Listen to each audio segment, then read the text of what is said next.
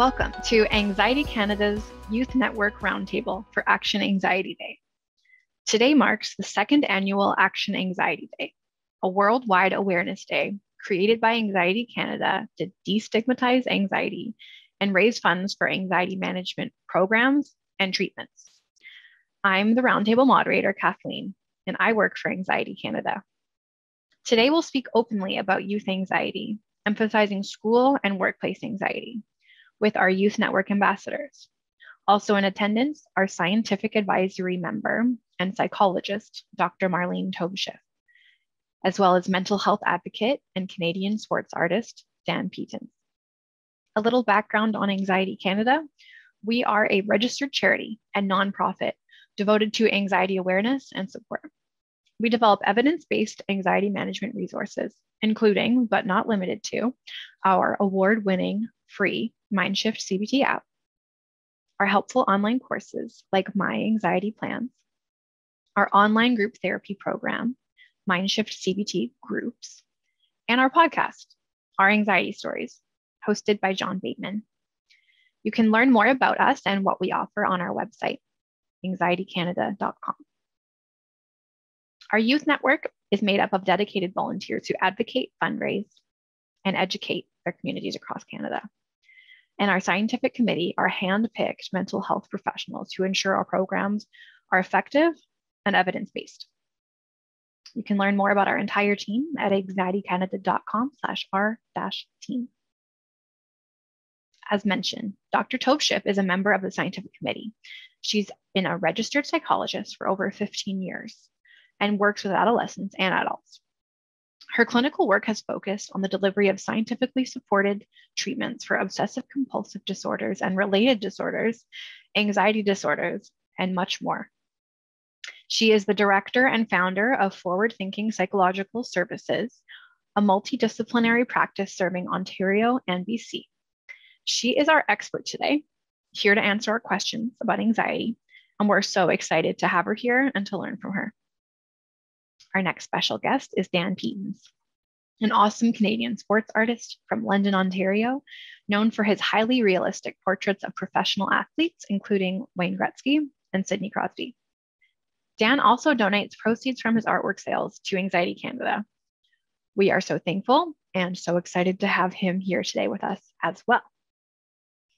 Today, we'll meet virtually from across Canada. I'm in Vancouver and I guest on the traditional territories of the Musqueam, Squamish, and Tsleil-Waututh nations. I want to acknowledge that we all live and work on unceded territory that Indigenous peoples in Canada have taken care of for centuries. As mentioned, we are zooming in from all over today, and I'd like to introduce you to the rest of our participants. Let's get to the roundtable.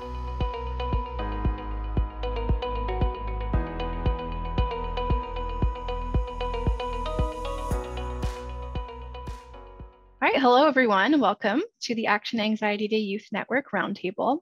First, I want to thank you so much for being here. Being open and sharing your story helps us destigmatize anxiety and support treatment. And we help other people feel less alone when we share our story. Sharing is caring. So first, I will introduce you to our Youth Network ambassadors, Alita and Caitlin. Caitlin is currently a nursing student at the Toronto Metropolitan University, and her goal is to become a mental health nurse. Hi, Caitlin.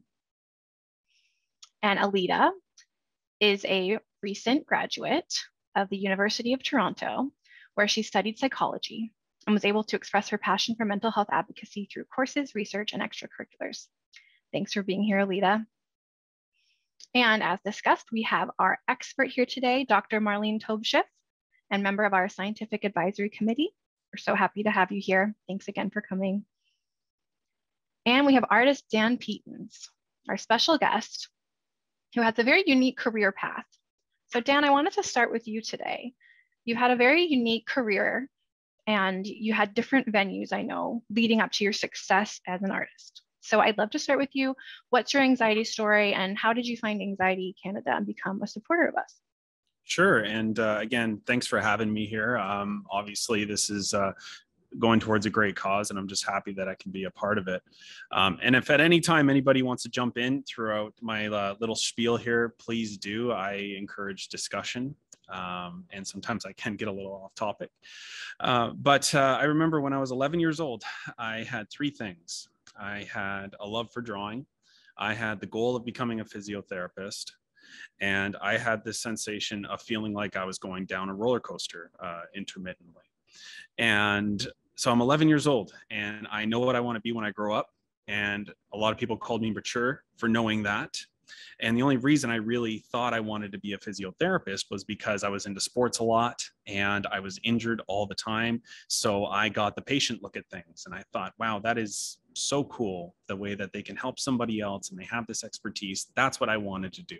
That moment, the rest of my life up until a certain point was geared towards uh, the goal of becoming a physio.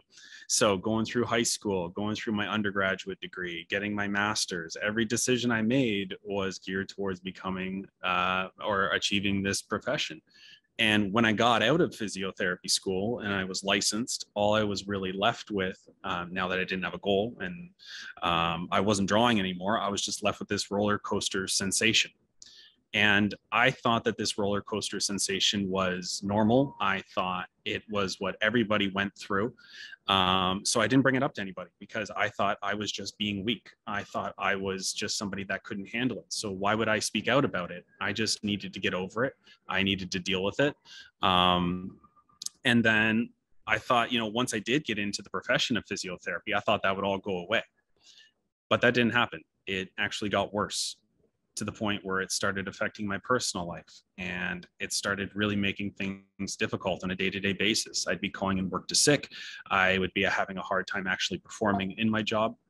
But one day i there aren't any jobs capsules available. Oops. sorry about that.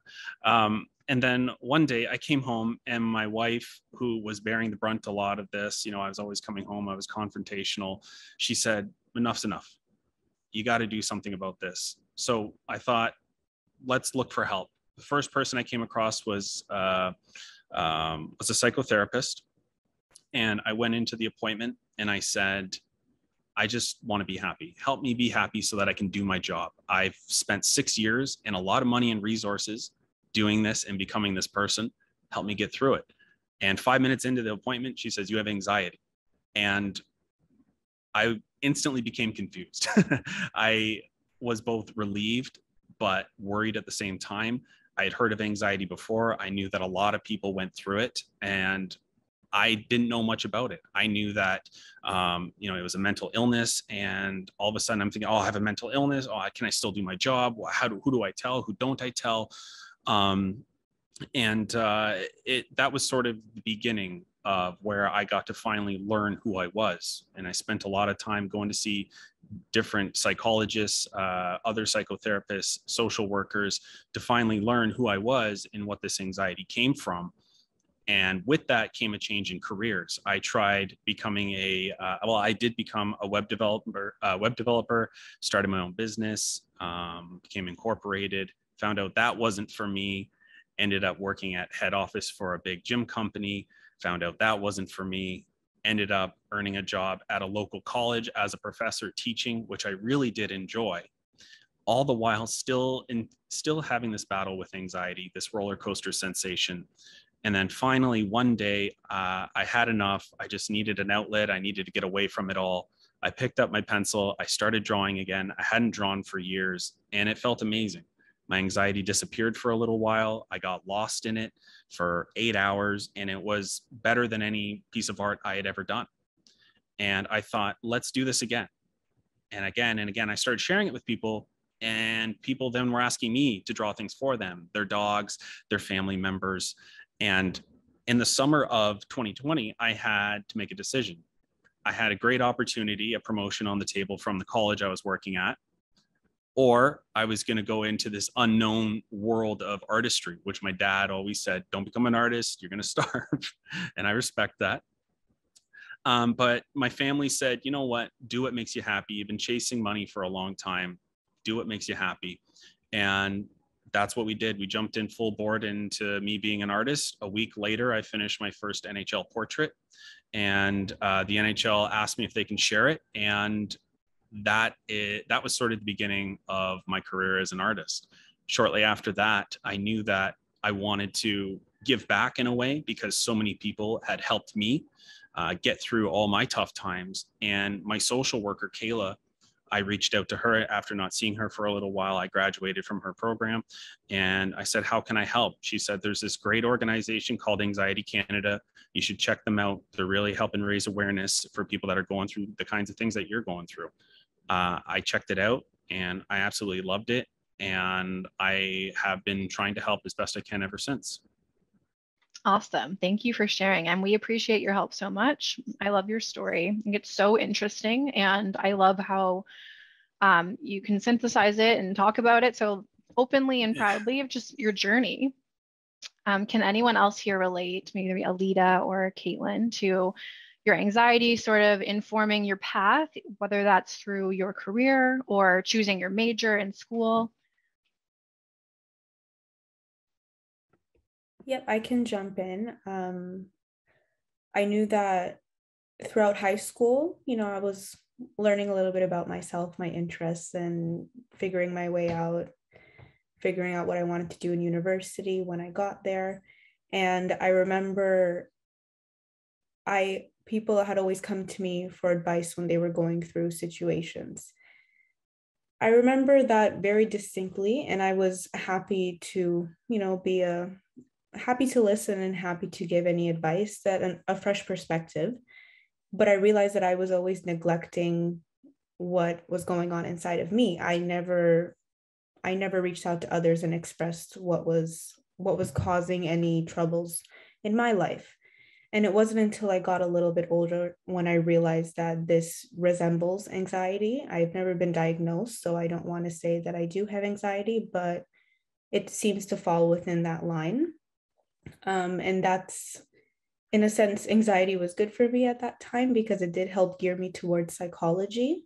But I wish that there had definitely been more awareness during that time. I didn't really know much about it. It wasn't not I w- I wouldn't say that it wasn't a safe space to talk about anxiety i just didn't know that that was something that i could have done at that point um, but i do remember feeling lost at times and confused and and my mind circling in many different directions, trying to figure out an answer to something that I had blown out of proportion just because my thoughts kept spiraling. So it's been, it was there since the beginning of my of my higher education, I would say. Um, and studying psychology, I've got to learn more about it. It's definitely been my partner throughout my university journey, I would say, both in good ways and in bad ways, which I'm sure we'll get into more details about. Um, but yes, that's the kind of generic, more widespread view of how anxiety has followed me throughout my education and career trajectory so far. Yeah. And like Dan was saying, when he found drawing, he was sort of fully immersed in it. Do you feel a similar feeling about psychology, like that it is sort of your calling or it it helps you understand your anxiety and even lessen it sometimes because it's what you want to be doing? Yes, absolutely. I catch myself psychoanalyzing myself often, um, just trying to better understand my behaviors. Uh, it's it's very interesting to learn about. Um, I really enjoyed it because it's directly aligned with what I hope to do in the future, and I can apply it to my day to day situations. So that's kind of, I think, listening to Dan's story the a big takeaway that I got from it is that what you choose to do should be something that feels as if it's relieving some anxiety, something that you enjoy and can look forward to every single day. Mine just happens to be intertwined with anxiety because it has to do with psychology. So it's a nice little mix, I would say. But yes, to answer your question, Kathleen, definitely psychology is very interesting to learn about what I may be going through, why I may be going through it, and how it can differ or align with others' experiences as well.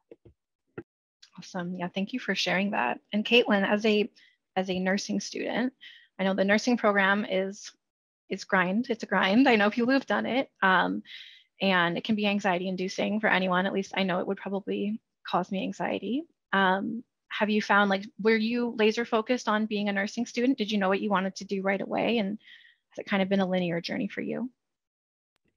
Um, for me, um, it was actually as someone with anxiety, I always tried to run away from it. It's kind of though like the elephant in the room, um, where it's always there. And I never knew I wanted to be in nursing until I actually had the opportunity to work with um, some community health nurses, some mental health nurses.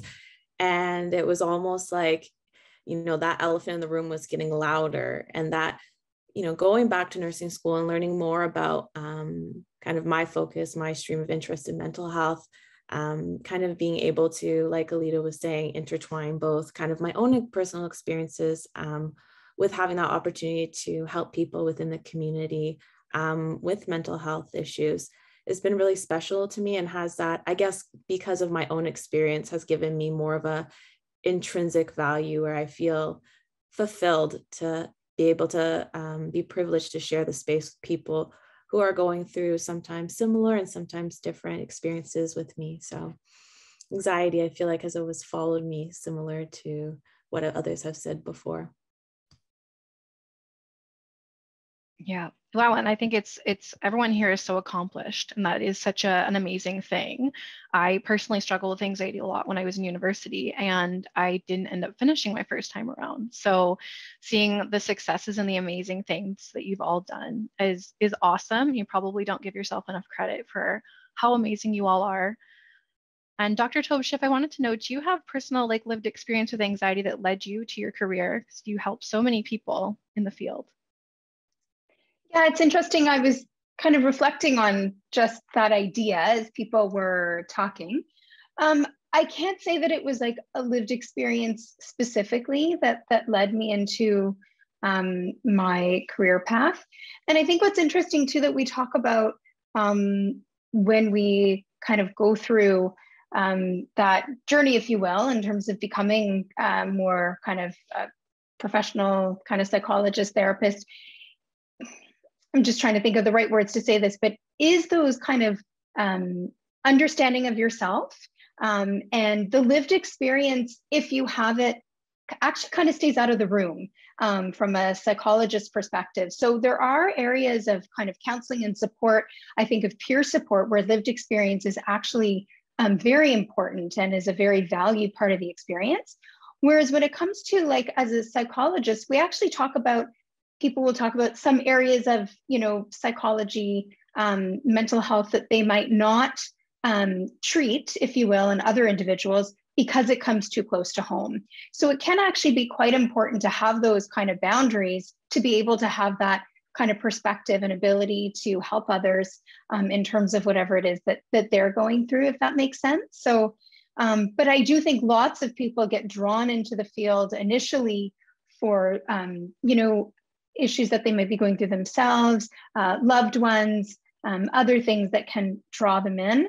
Um, it wasn't my initial drawing factor. I actually started off um, in a more experimental branch of psychology, and then I shifted into um, clinical psychology. So I had a little bit of a different um, journey in terms of getting there. But I think it's something we think about a lot as we go through our field. And, you know, the pandemic's been an interesting time for therapists going through um, very similar experiences to everyone kind of in the world, which we've all talked about as being very unique in terms of the anxiety of the world. And we've all kind of experienced it in some way. So, how do we help ourselves and remain kind of objecting, objective, kind of helping professionals as well? So, it's been a very interesting time the last few years in terms of um, I think everyone's had their own experience of anxiety, however, that has impacted them. So, whether it's longstanding and it's been exacerbated or triggered in different ways, or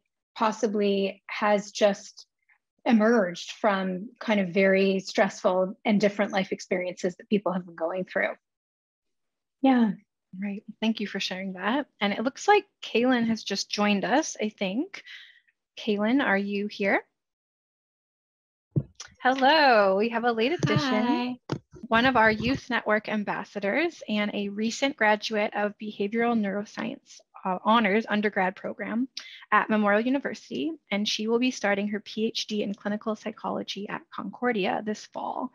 Thank you for joining us, Caitlin. We were just talking about anxiety and how it can shape our career or be a part of our career, career choices, or even our, our major decisions um, when picking a major in school. So I know you just got here, but did you have anything you wanted to share? Yeah, sorry about that. I'm in Newfoundland, no so the time zone is weird. Um. So I, I actually got an email. And I was like, oh no, I thought I had an hour, but guess I guess not. Um, Sorry about that. No, no, no. That's totally fine. That's my fault. Um, I mean, I guess for choosing like the career path, I think like going into clinical psychology, like my mental health, I guess journey, um, definitely impacted my decision to go into clinical psychology because, you know, I've had experience in the mental health system and um, you know, like working with clinicians and um, physicians. So I think it really um, motivated me to want to help people like myself, if that makes sense. So yeah, I think it definitely motivated me to go down the clinical psychology path. I just awesome. wanted to say, Caitlin, that that's my alma mater. I went to Concordia for my um, for oh, my PhD. Yeah, so I oh, just oh, that's so awesome. I know that's off topic, but I just wanted to. No, that's great. yeah, congratulations. Awesome. I'm sure you'll love Thank it. You. It was like absolutely wonderful. Thanks. Yeah. yeah. Again, all so impressive. You know, I'm trying to think of my impressive things in life. I mean, I was in a Geico commercial when I was like nine, so that's kind of cool, right? but I wanted to shift back to Dan and ask you a question about being in the workplace, you've been through a few different career paths or career areas. Um, would you say that there was a stigma around discussing mental health, mental illness in the workplace? Yeah, I think that even though I had my own ideas around that kind of a stigma, I had my own um, own thoughts about what others believed um, somebody with a mental illness would go through, specifically anxiety. Anytime I ever talked about it with anyone in the workplace, whether it was a superior or a coworker, um, I was never met with anything negative. Uh, it was always very positive. And so, having done that, the first time I did, it, when I was in physiotherapy, um, I'd been working for three years, and my mentor was across the hall from me. And he was sort of saying, you know what, you've been missing a lot of work lately. And I noticed you're not yourself. Like, are you can you tell me anything? And I kind of came to tears a little bit and I just said, I have anxiety. Um, this is something that I've been battling for a little while. And I'm not sure if that affects, you know, how you see me as a therapist or how my patients will see me as a therapist. And all he did was hug me. That's all he did. He just gave me a hug and he said, thank you for sharing. And he sat down with me and we just chatted. That's all it was. Um, so any t- any stigma I've ever thought existed, anytime I tried to confront that stigma, I, I was never met with anything that supported it. I'm glad to hear that. That's that's yeah. really touching. Um, I think a lot of people wouldn't even know if there's a stigma in the workplace around it because they are scared to talk about it. I know for me, like I'm one of the most open people about mental health that I've ever met. I've been very at peace with with what I have and who I am for a long time, but I'll realize sort of almost after the fact that, you know, I'll, i could have worked at a job for two years and never brought it up because I didn't want anyone to see me differently. You know, I, I didn't want to say I have anxiety surrounding this and then have people assume I couldn't deliver in that area. Um, and of course, that sometimes was to my own detriment because when you feel like you're keeping something inside, it can affect you even even worse, and it can really get in your in your head, right? So, um, yeah, I don't know that I would say I've experienced a lot of stigma but I think a lot of the time I don't even get to the point where I could experience whether or not they have stigma. Um, however, interviewing for Anxiety Canada was a surreal experience because I was asked what my anxiety story is in the interview, and then they still wanted to hire me. And I said sort of everything. So um, working for Anxiety Canada has been really cool because there's definitely no stigma around talking about mental illness. Um, but I wanted to hear if anyone else on the roundtable has any thoughts on that or has any experiences. Do you think there's a stigma in school or in the workplace? Um, I can go next. Um, thank you for sharing, Kathleen. It's so nice to hear that um, you were able to find a place that um, it's just like like I said, even for me, volunteering Anxiety Canada, everyone is so welcoming, supportive. Um, and I think similar to your story, like for me in nursing school, um, we feel like this pressure because we're seen as healers and helpers of the community and it feels almost taboo to talk about anxiety um, or mental illness and um, i think that's because we feel that if people found out that we would um, be looked as weak or inferior but I think a lot of the workplaces I've been at, there's a lot of great resources at the university I go to. And I think too, that's important. It's almost like I think the analogy of um, when you're in the plane and the oxygen masks come. And in order to help others, you have to help yourself first.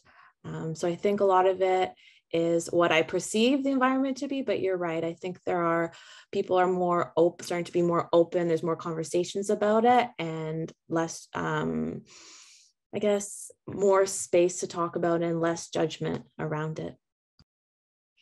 Alita or Kaylin, do you experience anything in like a school setting? Does anyone ever talk about their anxiety openly in the school space, or is it something that is sort of kind of off to the side? People know it's happening and people are struggling, but they're not really talking about it.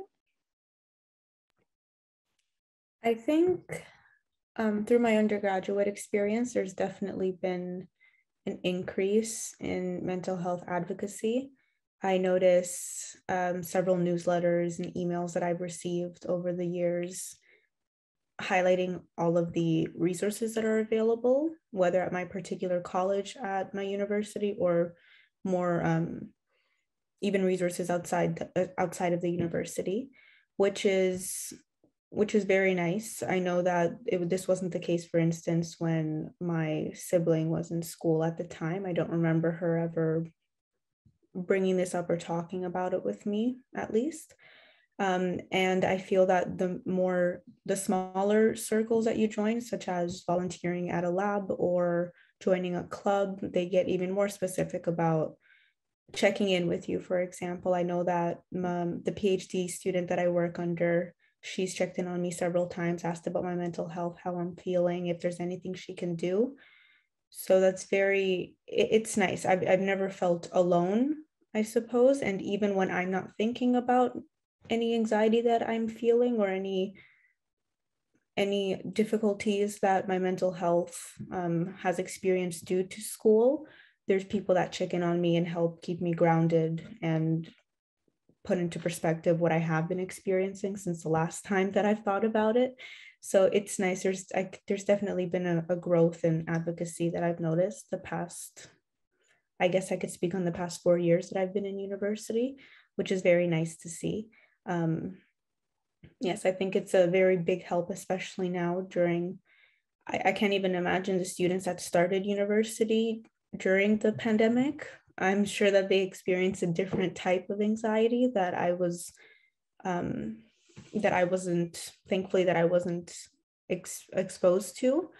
So I'm yes, I'm very I feel that there's a, a positive direction, positive trajectory that schools are taking towards mental health. That's great. And Kaylin, did you have anything to add on that? It's okay if not. No, yeah, I think I 100% agree with Alita. I think um, just throughout my undergrad experience, there's definitely been more advocacy, especially like just in, in my university. I think my university actually does a very good job of, um, I guess, like making students aware of different resources and um, like we have, I'm sure other universities have this as well, but we have like a counseling or like a clinic on campus. Um, and just like thinking back to like grade school, like middle school and high school, I feel like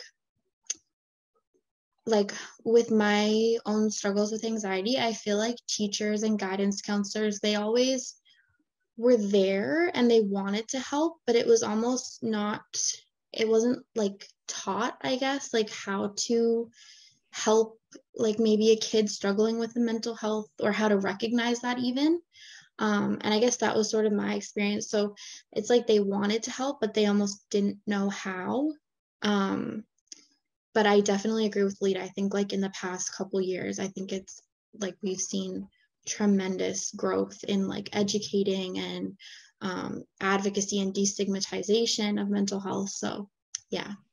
Yeah, that's great to hear. Especially, I went to school. Um, I started university in 2009. So kind of recently, but um, it already sounds like things are changing a lot from when I was there. I did feel lots of support and there were lots of resources, but I did within a school space sometimes encounter stigma that was, it threw me off guard because again, I've been very open about mental health for a long time, but I had a professor tell me that my generation invented these labels and that none of us should worry about them. Uh, when I opened up to him about having anxiety, um, I had a, um, peer say that anxiety is just another word for weakness. When I said, yeah, I deal with anxiety sometimes, like kind of saying it on the side, like it's no big deal. Like I'm still cool though. I just like have anxiety. And um, and he said, yeah, that's just another word for weakness. so not to say that those couple experiences were the way things were when I was in school, because there were lots of great attitudes, lots of support and resources, but I'm really happy to hear that you don't have any stories like that. that makes me really happy. Did anyone else have anything to add before I move on to our next question? I guess I did just want to echo um, what Kaylin and Alita were saying in terms of the changes that have happened. I treat um, a lot of like adolescents, so seeing like them talk about different supports that are offered. Really mostly impressed, if you will. Like there's usually, you know, a quiet room um, that teens can go to, or mindfulness is something that's brought into schools now. And I think back to when I was going to school, um, those definitely were not kind of offerings that we had at that time. So I agree, not everyone has the skills or the language um, or the awareness to be able to offer what needs to be offered. But I think the overall trend is definitely in the right direction. And, you know, I remember, you know, when I was at school and kids that had like um, like ADHD would be put out in a desk out in the hallway. Like that's how, mm-hmm. or or borders would be put up around their learning. Thankfully, thank goodness, those things don't happen, and the approach is very different. I'm not saying they get it right all the time, but the overall trend is definitely in the right direction. And the more um, like places like you know organizations like anxiety canada exist right the more we're able to um, allow the world to understand what it is that people are experiencing so i think that work is just so important that's wonderfully said i love that thank you dr Taube-Schiff our next question is does anxiety ever help you in your personal life? For example, does being a perfectionist make your work perfect. And I will start with Dan, because I know you said that you don't have anxiety really when you do your work. You're so immersed in it and you love it. But do you feel like there is sort of a, a current of anxiety pushing you forward and through your work? Yeah, I think so. I, I think I I learned how to use my anxiety from a really young age actually um, when it came time to preparing for tests or exams or doing any kind of an art project or something like that i would always try to overachieve on it um, and that overachievement and trying to do better and beyond kind of carried over into a standard that I set for myself. And trying to live up to that standard consistently is um, sort of where a lot of my anxiety came from, or the thoughts of, what if this is not good enough?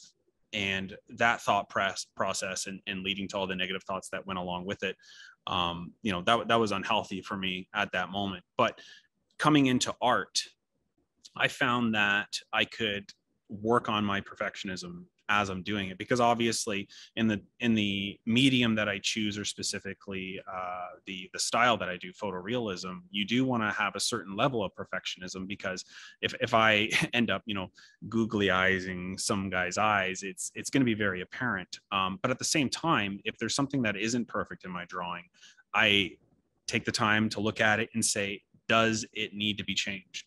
And even if I can change it, even if I can go in there and it's just a matter of a couple of pencil strokes or a little bit of erasing, I ask myself, does it need to be changed? And if it doesn't, and the value is still there, then a lot of the times I'll leave it. I'll release my drawing and nobody will say anything about that one little mistake. And in that way, it becomes um, uh, therapeutic for me to just to prove to myself that perfectionism does not mean uh, or, or non-perfectionism does not mean no value. Yeah, thank you for sharing that. And your work is so cool. So it's really like awesome to have this sort of perspective on what goes on behind the scenes and Thank you. and how long it takes. Did you say it does it always take like eight hours for one drawing or longer? Well, you know, I'm always trying to I'm always trying to improve, right? But not necessarily in the little errors, but I'm always just trying to uh, push my technique a little bit further. So originally it started out as eight hours, but my latest piece just took 76. So um, each one I'm trying to just see where where else I can go with the medium. Awesome. Does anyone else feel like they encounter anxiety in a helpful way, whether that's in work or in life? Whether it pushes them forward or their perfectionism helps them achieve things? I can jump on this. Um, Thanks, there's- Leah. I've definitely learned my learning style throughout university and how anxiety touches on that. I've noticed that there's a nice, a sweet middle spot where I can get a lot of work done eff- effectively and efficiently. Uh, whereas if I start too early, I have no motivation. I don't have anxiety, a little bit of anxiety to keep me alert and push me towards what I need to do. Whereas if I wait way too long, I'm in such a high state of anxiety that I can't think clearly and focus. And I've noticed that this is applied to things beyond um, beyond just my my school. For instance, even getting somebody a gift. If I think way too far, way too ahead of time, I can't possibly think of what gift to get them. If I wait way too close to the birthday or whatever occasion it may be, I'm very stressed about what it will be. So I, I noticed that anxiety is kind of the one of the motivations behind finding that sweet middle spot that's applicable in my education and in my everyday activities too. I don't know why gift giving was the first thing that came to my mind, but I have anxiety with gift giving too, and it's it gets a lot sometimes. It probably means your gifts are amazing. They're very well thought out, and I can do relate to that. think- yes, I have like a notes a note in my phone of what my friends like. So yeah, yeah. You listen to something like you write it down, and then you surprise them. Yeah, that's an amazing quality to have. So that is a good thing. Caitlin, can you relate to that? Um, yeah, I think for me, it is about, um, I guess, reflecting on my own experiences that um, you never know what someone's going through. And I feel like a lot of times, too, people who struggle with anxiety are really good at hiding it.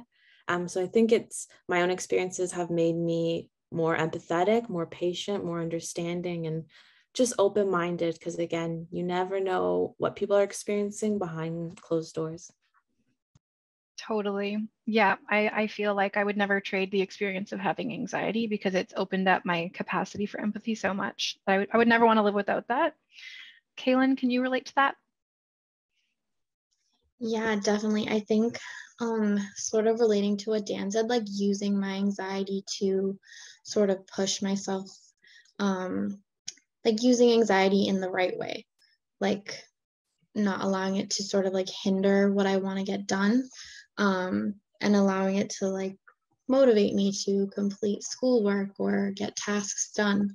Um, I was just thinking one thing that I do that I need to work on with in regards to perfectionism is like I'll submit an assignment, for example, and I'll go back and I'll just reread it so many times looking for mistakes. And I think that's one thing, like, especially with perfectionism, is you can't do that. Um, yeah, so that's one thing I can work on um, in respect to sort of, yeah, I guess perfectionism. But yeah, I can definitely relate to Dan, like using my anxiety to in the right way to motivate me to get stuff done. Right. I can see Dr. Taube-Schiff nodding, and I think that's why it's great to have an expert here as well, because you, when you're saying you read things over and over, I'm like, oh, that's bad. I do that all the time. But I see, I saw you nodding. Do you have anything to add to that? Yeah, well, I mean, I think everyone like said it so nicely in that anxiety is like any other emotion that we actually have to have and have to experience. So, you know, I always say to people that I'm working with, like, no one ever comes to see me and says, like, I want to get rid of happiness, you know, and in that way, it's the exact same thing. We don't want excessiveness in terms of our anxiety, but we actually need it. And the way um, Alita described it was beautiful, and the idea that there is a sweet spot to anxiety. And it's like, actually, you know, from a kind of physiological perspective and what we know from research, there absolutely is kind of like a U-shaped curve to anxiety in the sense that when we have too much, it really pushes us over the edge and we're not really functioning in the way we want to. Um, I think I was nodding um, when Kaylin said that because I was thinking about it from like a graduate student perspective and i was like no don't don't do that. Um, it's like the post-mortem of like my essay handing in and reviewing it all. Um, but you know in certain i think you know career all career paths really people are so driven right? Um, and can be so driven to perform and excel. Um, and probably we all have that in our own way. Um, and certainly i can relate to that from my um, from my graduate school days in particular, when there was such a drive to excel. And I would argue that I had more time then, if you will, to sometimes focus on things. Um, I think, you know, Dan's framed it like I'll actually stop myself from changing something, which I think of as a fabulous exposure to doing something not like a hundred percent kind of perfectly and how I was forced to live my life more that way as I got older and had kids and kind of other responsibilities filter in that there's only a certain amount of time that you can devote to certain things, right? So, but we absolutely have to have anxiety. It protects us from danger. There are times it kind of keeps us on our toes in terms of being vigilant around our environment. Um, and when I think about it from a therapeutic perspective, we don't work to get rid of anxiety. We work towards having a different relationship with our anxiety, right? So that's what I think is very important. Um, but everyone answered that, um, I think, in such a nice way with their own experiences. So, yeah. I agree. Yes. Thanks, everyone, so much for sharing everything that you shared. I have one last question before we go to our Q&A with Dr. Taube-Schiff. And we'll have questions that we've compiled from Instagram and our team, as well as there is time for you to ask questions if you think of any. Uh, some of them could have sort of been covered by what we've been talking about, but it'll be good to recap. My last question is for anyone who wants to answer it is what would you tell your younger self about anxiety? Um, I can jump in first. Um, the one thing I would want to tell my younger self is, um, first of all, what anxiety is, because I didn't know what it was, but that it's okay. It's it's okay to have it, um, because in experiencing that sensation that I just that I called the roller coaster sensation again I just thought I was weak and then as I tried these different careers and wasn't able to achieve them or just even backing up into elementary school when I was constantly experiencing it and sometimes wasn't even able to go to elementary school because I was so physically sick um, I just felt weak and I felt like a failure and I think that thought process was a lot more damaging than the anxiety itself. And I wish I could just go back in time and, and just tell myself, you have anxiety and it is okay. Other people experience it. I love first, that. Sorry, the first thing that came to my mind was also to tell my younger self it's okay, that it's normal. Definitely, that's the first thing that came to my mind. I wish I also would have had, I wish my younger self knew more about what anxiety was. And if I did, then maybe I would have recognized anxiety in my life in the in a positive aspect first rather than a negative aspect um, I think a lot of people, including myself, the first time that I identified anxiety in my life was through something that caused me stress and made me worried. Um, so it's easy to have that kind of tunnel vision that anxiety is is something bad, but you know more awareness, which is the goal of Anxiety Canada. Hopefully, over time, that'll kind of shift how many people come to know of anxiety and thus how they how they continue to view anxiety over time. I can jump in. Um i think yeah the like dan and alita said the first thing i would tell myself is what anxiety is um what intrusive thoughts were because i feel like those are like intrusive thoughts is what i sort of struggle with the most and i think they're so they're no one knows what they are um yeah, so I think I'd educate myself or tell myself what those are and that they're normal. Um, and then I think I would also tell myself that you're not alone because I feel like when I was going through like a really rough period, I felt so alone and that I was like the only person that was ever experiencing what I was experiencing. Um, and it's very alienating and i think it just sort of like exasperated the anxiety that i was already experiencing so yeah i guess just telling myself that i'm that what anxiety is and then that i'm not alone not the only one experiencing it Um, I think for me, echoing everyone's sentiments too and adding, I think I would um, self validate myself um, and have this piece about self acceptance that it's okay. I am, um, you know, not any, no one's perfect. And I definitely, I think I would go back in time and teach myself uh, coping strategies and mindfulness practices. I wish I had that back then because they are so helpful now. Definitely. Yes, yeah, and I have I have friends who are teachers that even before I worked at Anxiety Canada said they use our resources with their students and their students know what anxiety is. And I'm so glad Dan you answered with that and everyone echoed that you wish you just knew what it was. You would tell yourself what it was because um I yeah, when I asked this question, I was like, oh, I don't know what I would say to that. But I didn't know what anxiety was. I had a nightmare one night. The word anxiety popped up. I Googled it when I was younger and I just like knew I had it and had to advocate for myself um, to get that diagnosed because no one around me knew what it was either. So their responses were, you know, confused and and um, unsupportive as a result because they just didn't know what it was at all. Um, so they didn't know how to support. So absolutely, I wish we could all go back in time and tell ourselves what anxiety is. And if Anxiety Canada resources, print them out, give them to our younger selves, give our younger selves a hug. Well, thank you everyone for everything you shared so far, and being vulnerable and open. We're going to start the Q&A now with Dr. Taube-Schiff. So our first question that came up a few times uh, from Instagram submissions and other venues is uh, we kind of already touched on it, but do we need anxiety in our lives and how is it a good thing? Right. So yes, absolutely. As we kind of touched on that idea of we we do need anxiety for sure. Um, and the goal of treatment would never be to get rid of the experience of anxiety. Um, you know, I always say to people, nobody likes to experience anxiety, and I include myself in that um, situation, which I talk to people about. Um, but it is about kind of changing our relationship to anxiety and often changing our interpretation of anxiety and how we experience it.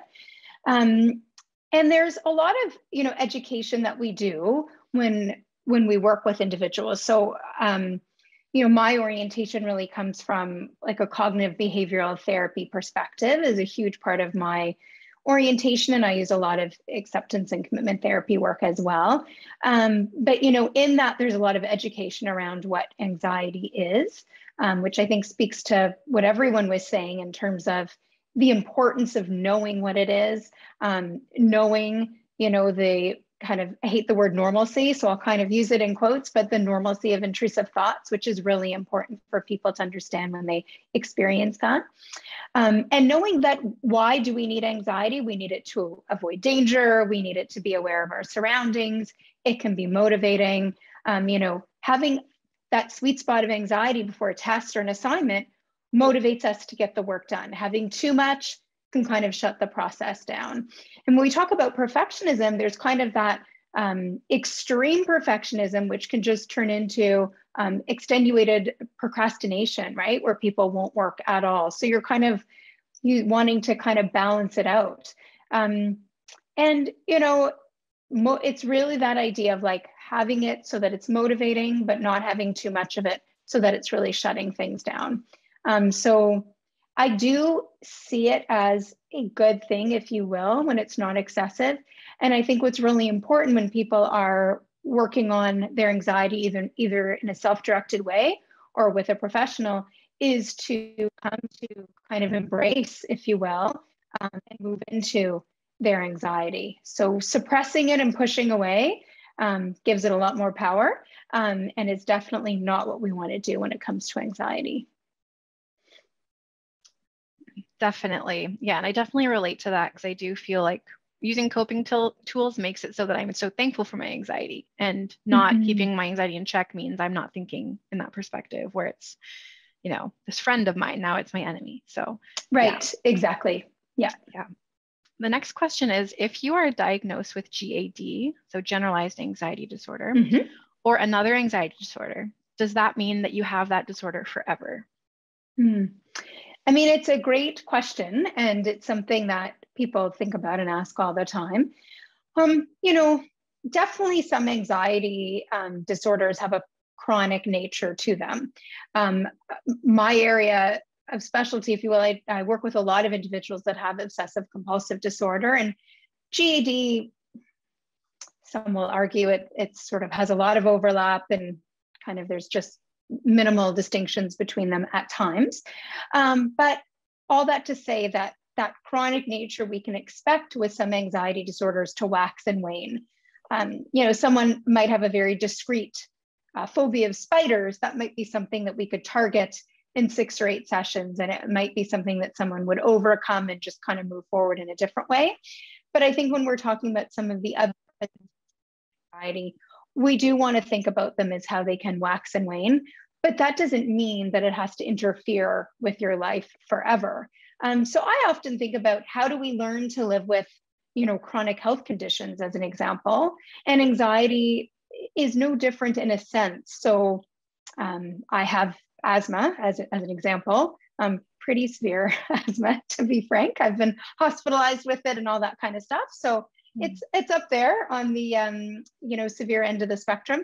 But there's obviously modifications that I need to do to be able to stay healthy, which can involve for me lifelong medication um, you know exercise you know things i do around my house in terms of dust mite proofing and all those kinds of boring things. Um, but it's that idea that there's things that we do, and we might even do on a daily basis with respect to our anxiety, um, that we do to kind of stay in that zone of wellness. Right, which can be, you know, exposure um, in terms of exposing ourselves to things that we might not want to avoid or that we don't feel necessarily um, comfortable doing it's kind of staying on top of our anxiety, if you will, um, or knowing that at times we're kind of taking our anxiety along with us for the ride, right? So mm-hmm. it's really that we can live with anxiety and it doesn't have to control everything and it doesn't have to be something that we feel um, is going to take away our quality of life. You know, if we kind of use an analogy, our anxiety can kind of ride in the back seat of our kind of life car and we can be really in the driver's seat kind of calling the shots right? And i think that can be a, a shift in perspective that people have. Um, not to say that it's not really difficult to be given that diagnosis or to realize that this is something that i might have to kind of manage in a different way possibly for many years to come um, but that it is manageable and that there are treatments and ways that we can live with it and have a very good quality of life. And I think that part's really important. Thank you. Yeah, that's helpful yeah. to know. And there was yeah. sort of a follow up question to that on Instagram is if I'm on medication for anxiety, does mm-hmm. that mean I mm-hmm. will be on it forever? Yeah, so that is a great question. A little bit outside my scope as a psychologist, mm-hmm. which I always mm-hmm. preface. Um, mm-hmm. I certainly in my career, although I I am in my private practice now. Up until now, I've always worked in um, hospital settings within Ontario. Um, having the fortune to work closely with psychiatrists, um, so really seeing the positive impact that medication can have and how it can open the door for people to engage in therapy. Um, sometimes to allow some of those, I think of like anxiety can have very like sticky thoughts. Um, to allow those thoughts to become a little less sticky, to give them, make them a little more kind of pliable. Um, so, you know, I like to work with people to think about medication, again, not as something that's negative if you do need it. Um, if you do need it, there's probably a reason, and it's a good conversation to have with whoever the prescribing physician is. Um, sometimes people need it lifelong for maintenance of wellness.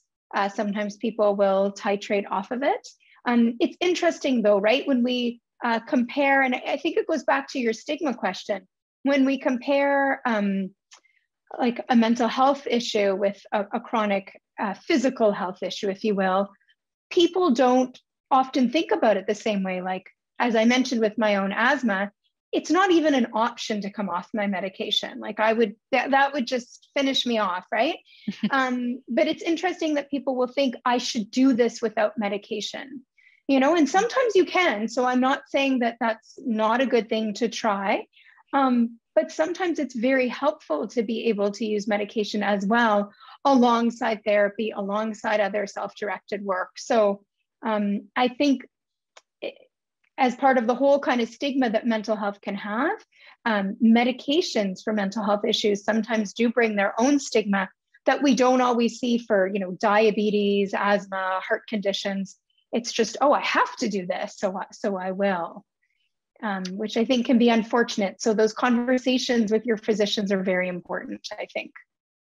Absolutely. Yeah, that's so yeah. important to know. Before I an- uh, ask the last couple questions, I want to yeah. ask the rest of our panel, do any of you have a question for Dr. Taube-Schiff?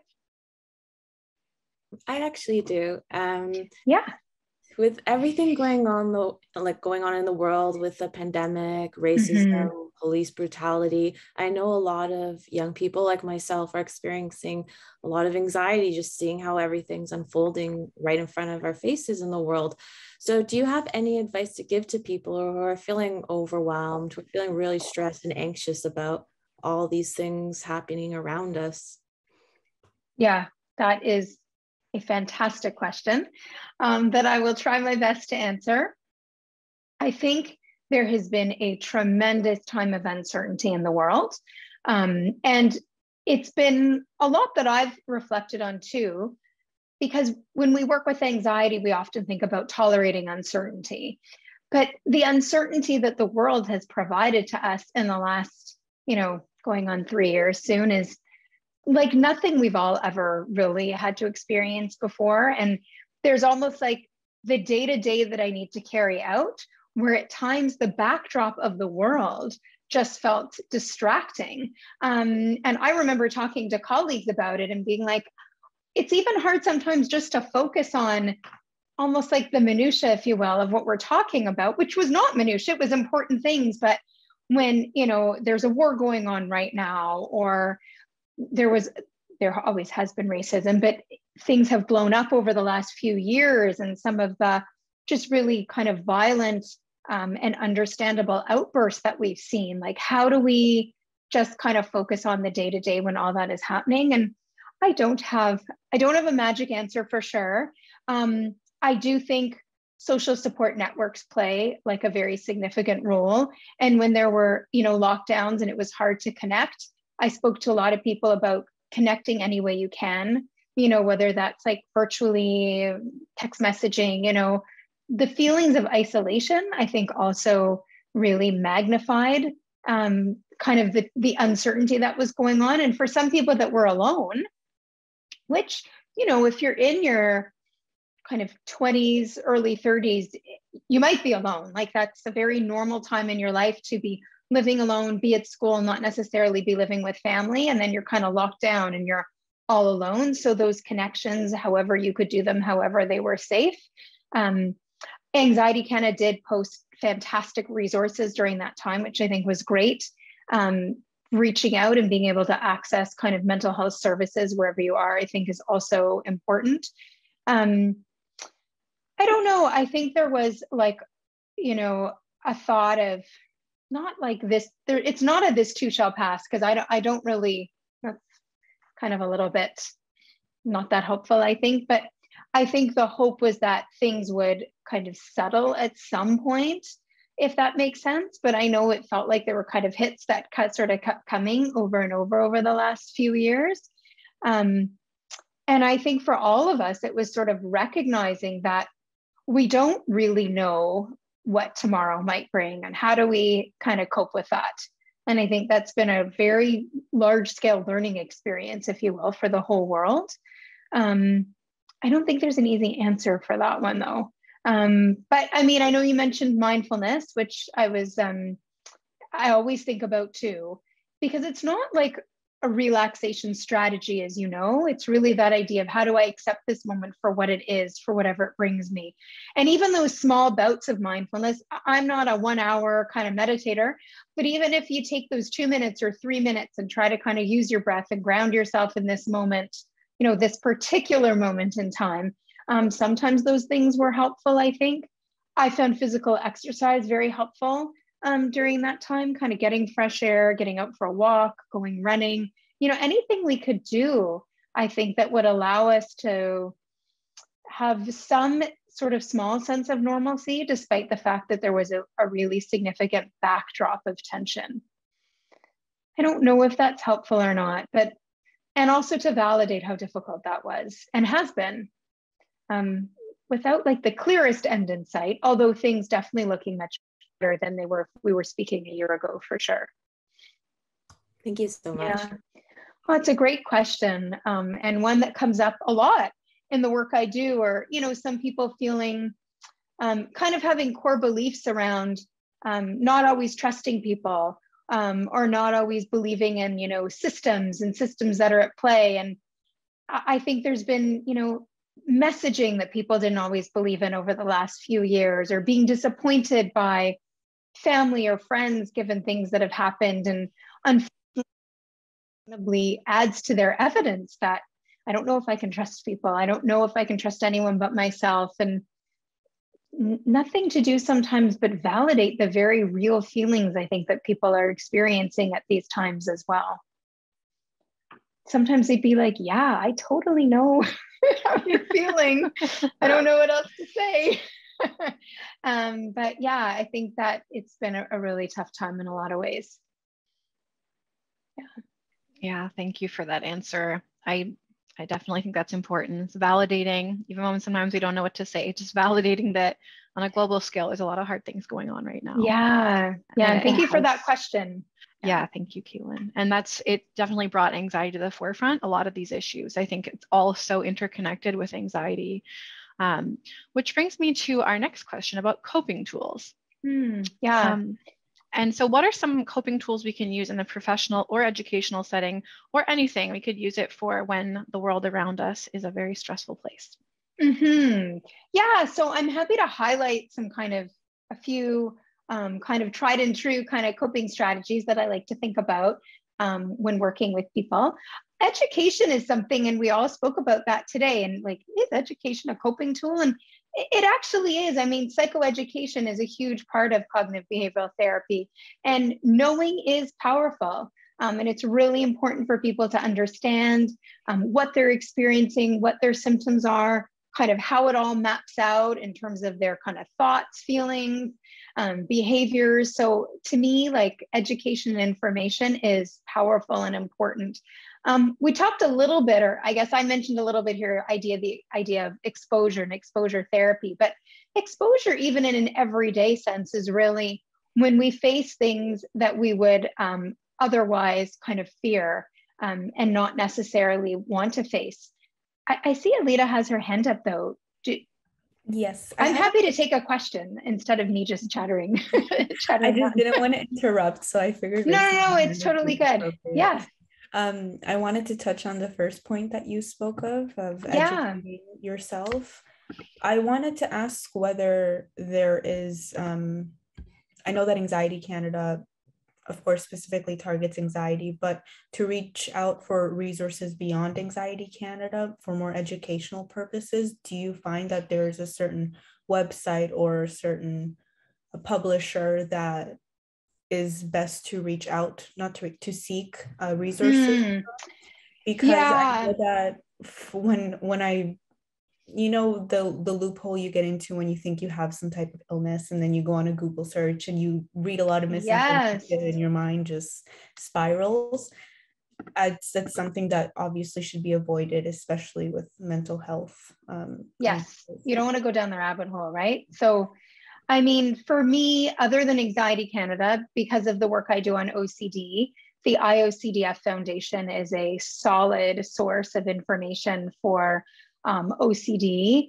Um, there's a bfrb.org uh, resource, which I turn to for uh, body focused repetitive behaviors. Um, those are some really big ones for me. Probably if I thought about it a little longer, I would think of some other things. But those are big ones that I that I like to go to a lot. Um, I was thinking of the Canadian Association for Cognitive Behavioral Therapy, but I don't know if they have as much in terms of resources for um, individuals versus resources for professionals. Um, I was just at their conference last week, which was excellent. So, you know, those are some really nice um, resources that I turn to in the work that I do quite a bit. Um, but I agree, like, and many people, we almost have too information, too much information at our fingertips at times, right? Um, in terms of kind of going down um, the rabbit hole with that. But it's a good question in terms of where can I go for some resources that are helpful. Yeah, yeah.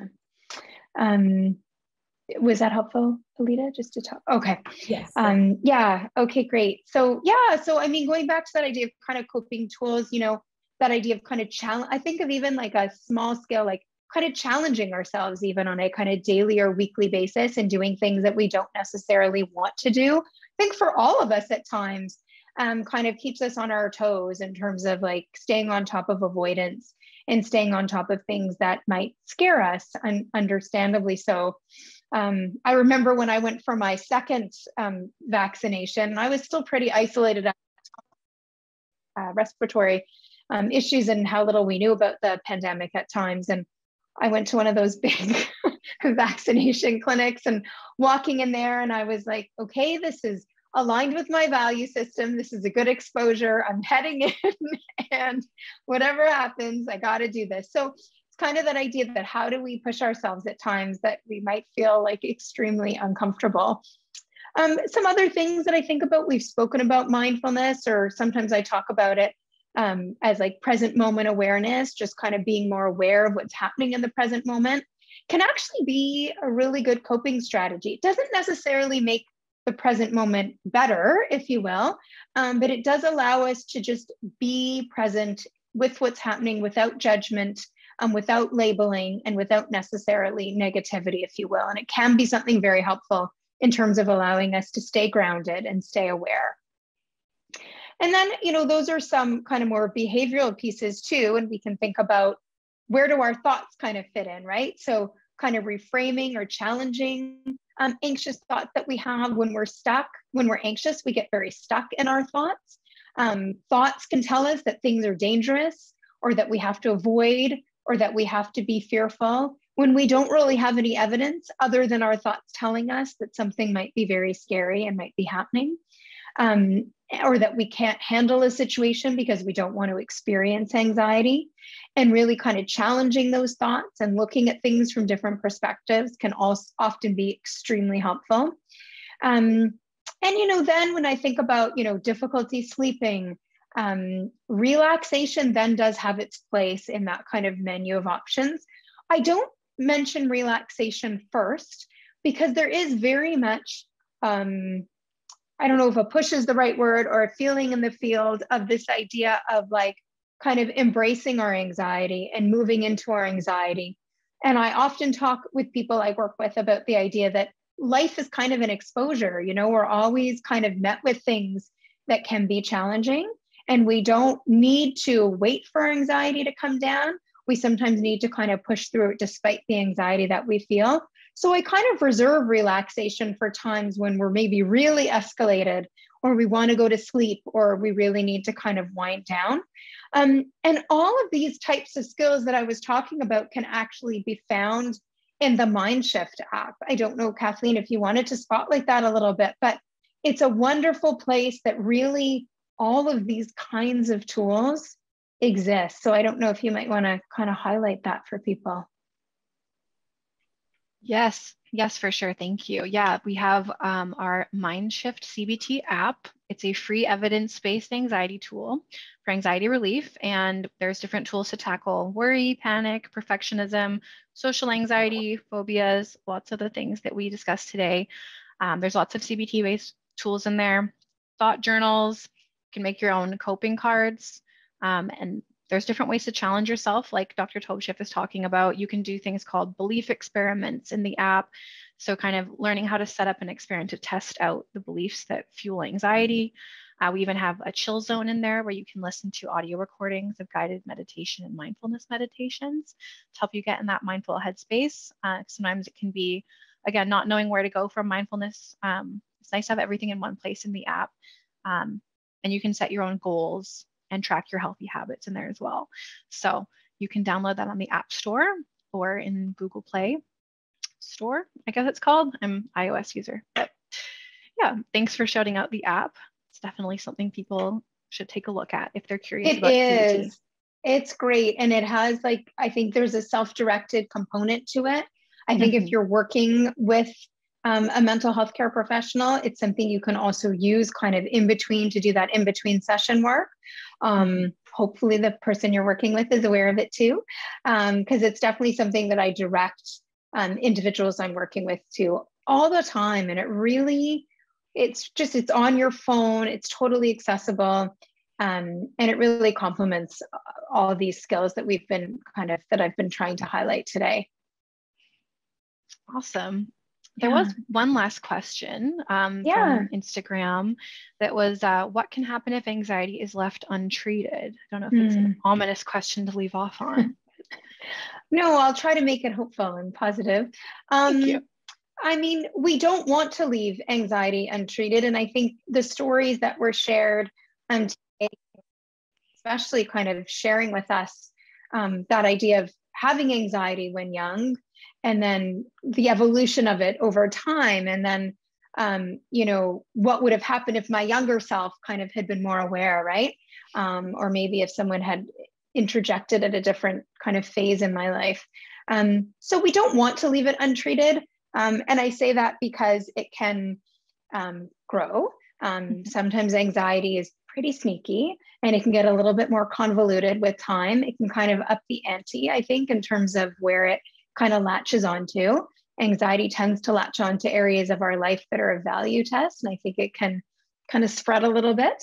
Um, so we don't want necessarily to leave it untreated because it can kind of continually convince ourselves that it's doing the right thing and that by giving into our anxiety we are protecting ourselves we're protecting other people around us we're kind of dodging bullets all over the place um, and then we're not really living a life that's worth living so i think that's something that's very important um, and i think that you know we really want to be able to think about kind of early intervention and as we talked about to take this i think to a more hopeful note is anxiety is becoming more and more recognized.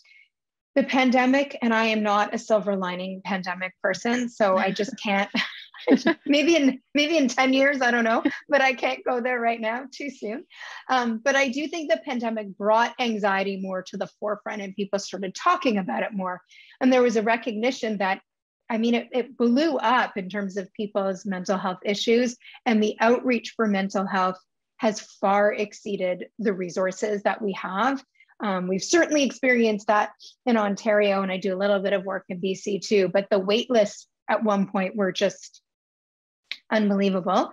Um, so we think about early intervention, and the more and more people that kind of listen in um, on things like we're doing today, and the more and more information that we're able to disseminate through places like Anxiety Canada, I really think can allow people to feel not alone in their experiences um, and to allow people to feel that I can reach out, you know, there's help there. Um, and that is really the first step in terms of getting better, in terms of that road to wellness and recovery. Um, and it really makes it look less daunting um, when there are people like all of you um, sharing your stories and being able to talk about it in a way that feels like anything else you might talk about. Right. And I think that is so important and gives people that kind of courage, um, like all of you today, and that bravery to be able to share things um, and take the next step in terms of getting better. So I'm hoping that's help, helpful and hopeful in terms of what people can do um, to get better. Yeah. Thank you. And thank you so much for answering those questions. And before we wrap up, I want to know did anyone think of any last lingering questions? It's okay if not, but I'll give you a sec. I did have one question. Um, I know that it, it's re- regarding the relationship between physical health and mental health. I know that there's, um, I guess you could say it's more known the impacts of physical health on mental health, but I kind of wanted to hear your take on how mental health can affect your physical health as well. Especially, this has been on my mind during the pandemic, especially, and I thought that it would be something interesting to talk about to hear people's take on it. Yeah, I think it's a great question. Um, and because mental health was so impacted um, during, like during, as you're mentioning, during the pandemic, you know, I think a lot about anxiety for sure, but my first thought, to be honest, went a little bit to depression, um, only because I think so much about how when people are significantly depressed, um, that kind of motivation and drive to engage in physical health really goes out the window. Um, so when we think about the pandemic and the impact on people's mood, feeling isolated, um, feeling down, um, higher rates for sure of like low mood and depression, um, physical health really took a toll too.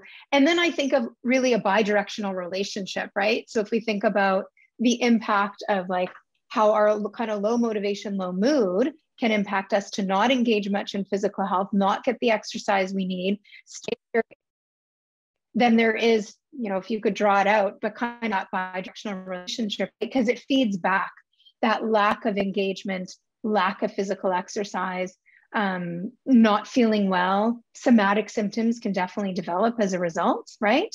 Um, and we also know, you know, from kind of impacts of mental health, there are kind of somatic um, um, issues that people can experience as well.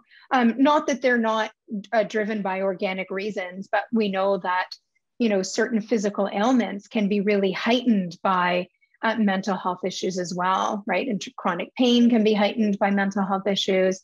Um, irritable bowel syndrome is a very good example of something that has a very strong connection to um, health and wellness and stress. And and more and more, you know, a, a lifetime ago, I worked in um, at the Toronto Western Hospital here in Ontario. And I was working with individuals who are undergoing um, bariatric surgery, which is an intervention that we use um, for people who are experiencing um, what we refer to medically as um, morbid obesity. And it's a surgical intervention to um, allow for weight loss and um, different lifestyle interventions. So at that time, when I was in that field, there was also a lot of discussion between gut health and brain health and a very interesting relationship that people were understanding that we're developing then too. Like what does it mean when we change our gut health through surgical interventions through other things and how does that kind of feedback on the brain and hormones? And so i think there's more and more that's being discovered in terms of all of those connections. So i think it's a very important area um, of psychosocial wellness for sure. It's a great question yeah, yeah I don't know if others have anything to add or, but yeah, it's a great question. Yeah, thank you, Alita, for asking that question. And I wanted to say thank you, everyone, for being here today uh, and for supporting both Action Anxiety Day and Anxiety Canada. It means so much to us that you're volunteering your time to share your story, to be open and vulnerable. Um, you're all volunteers. This is all out of your own time your volunteers and in Dan's case, donors, because you donate your proceeds of your artwork to us, which is amazing. Um, you've all helped shout out our services and everything that we do and offer. And like Dr. Taube-Schiff said, conversations like these, we're destigmatizing mental illness. We're talking about it in a casual way. And you never know who we could be helping today by sharing our stories. Was there anything that anyone wanted to plug or any links that they wanted to shout out before we go? Dan, did you have anything you wanted us to shout out? Yeah, so um, you guys have put up a great little system for individuals to have sort of crowd fundraising. Uh, I have set up my own page for this. So if anybody wants to head over to my page, uh, take a look, take a read of the bio, and see if you're uh, willing to contribute, that'd be awesome. And anyone who wants to check out our fundraising site, it's fundraise.anxietycanada.com. You can set up your own personal or team challenge. And you can learn other ways that you can give to the cause on our website, other ways you can donate or get involved on social media. So thanks so much again, everyone, for being here. It means so much to us. Thank you on behalf of the entire Anxiety Canada team. We appreciate you, and hopefully we can do something like this again sometime because this is really fun.